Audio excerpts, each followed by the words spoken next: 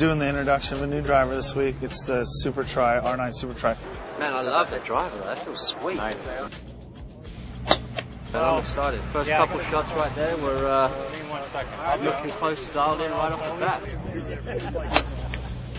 You haven't missed the target line by more than a yard.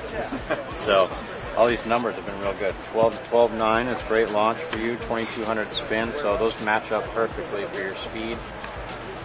Good carry. What do you think? I was flying pretty good.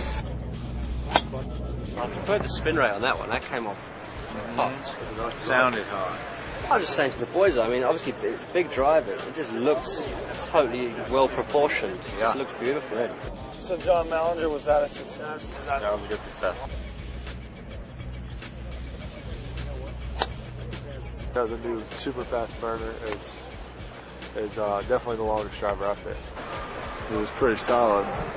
By far, it's probably the longest uh, TaylorMade driver I've ever hit in my life. Initial reaction was uh, it's a, you know looks good first of all, um, and then it comes off really fast. The ball's coming out a lot hotter and it's staying in the air a, a lot longer than, than my old driver.